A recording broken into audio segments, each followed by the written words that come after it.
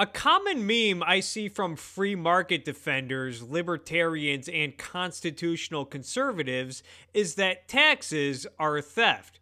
And while they're absolutely right, taxes are theft. If you don't pay your taxes, guess what? You go to jail.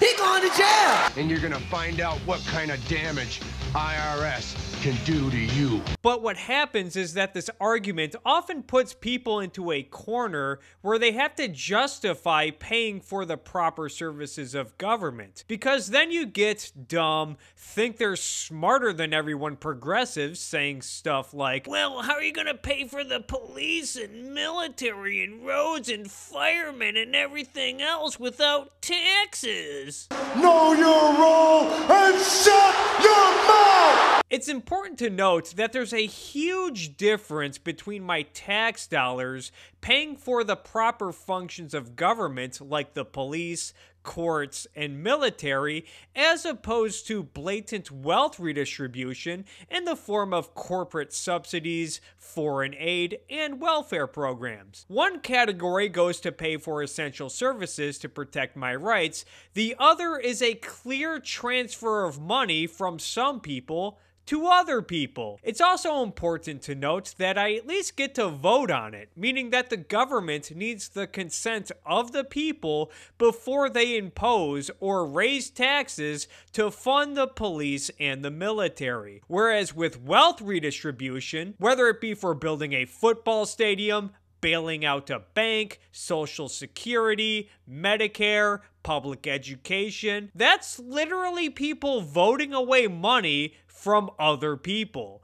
When I vote to raise taxes to hire more policemen, the police are going to carry out a service that I will ultimately benefit from. On the other hand, if Steve from down the street is voting to siphon 2% of my paycheck every week for food stamps to pay for his groceries, that's a direct transfer of wealth from me to Steve without Steve providing any service to me. Are taxes ideal? Is this a moral means of financing the government?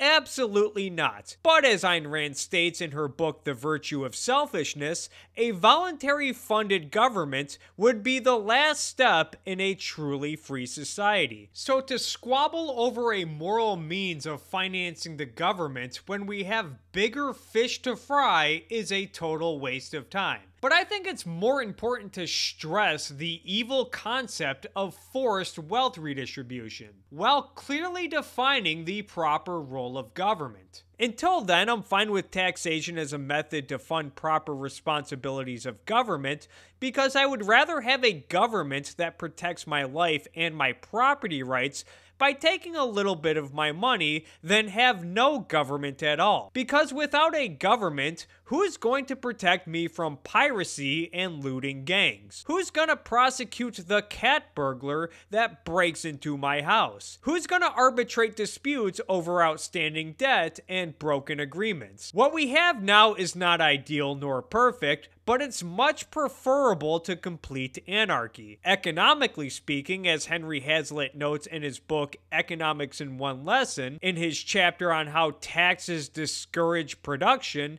when the government is doing only what it's supposed to do, then taxes are rather low and play an insignificant hindrance for economic growth and again are worth the price given that the government protects the private means of production. And I know I've pimped this book before, it's actually been promoted by people like Yaron Brook and Ben Shapiro, and I do consider it a must read. In fact, I will link to it down below for anyone that's curious.